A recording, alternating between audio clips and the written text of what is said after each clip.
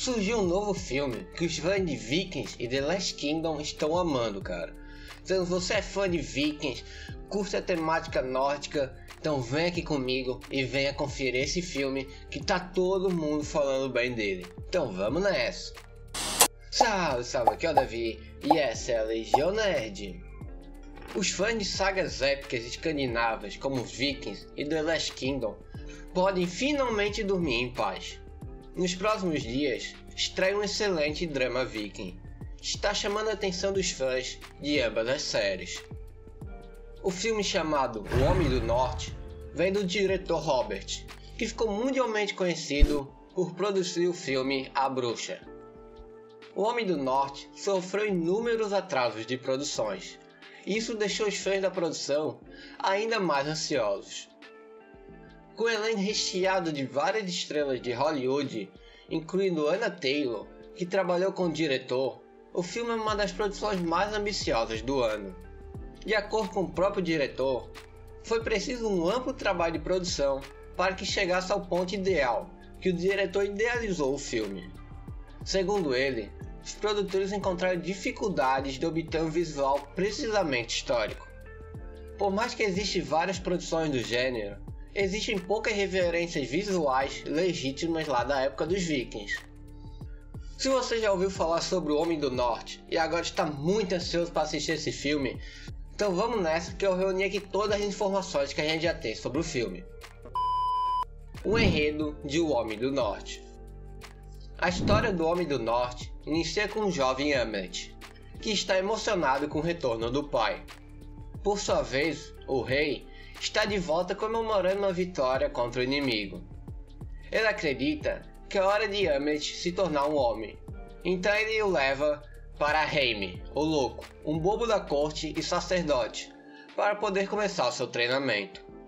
No entanto, tudo muda para Hamlet, quando seu pai é atacado e morto na frente de seus olhos e de sua mãe. Anos depois, um adulto Hamlet procura vingar seu pai e salvar sua mãe, levando-o em uma jornada para restaurar a honra de sua família e recuperar a vida que lhe foi roubada. O Homem do Norte teve sua estreia recentemente adiada no Brasil. Por aqui, o filme chegará no dia 12 de abril. Quando esse vídeo deve estar saindo ao ar, o filme até já deve ter lançado. O elenco e a produção do filme. Como citamos, a concepção do filme vem da visão do diretor Robert. O diretor é também responsável por outros títulos conhecidos, como A Bruxa e O Farol. Para que a história tivesse uma base sólida, o diretor convidou o aclamado poeta, letrista e romantista irlandês Ishon. Ishon. Eu não sei. Ishon. Para coescrever o roteiro do filme. Por sua vez, o diretor de fotografia foi convidado para dar uma visão mais realista da história. Contudo, Homem do Norte também conta com um grande elenco, inclusive boa parte dos atores presentes no filme trabalharam com o diretor em produções anteriores. Alexandre Skarnak protagoniza O Homem do Norte. Anne Taylor, que trabalhou com o diretor em A Bruxa, retorna como Olga. Os pais do personagem são vividos por Nicola Kidman e Ethan Hake. Ainda estão presentes no filme William Dafoe, Kate Dicken, Ralph Ineson, Clash Bank, onde o Homem do Norte ficará disponível em streaming.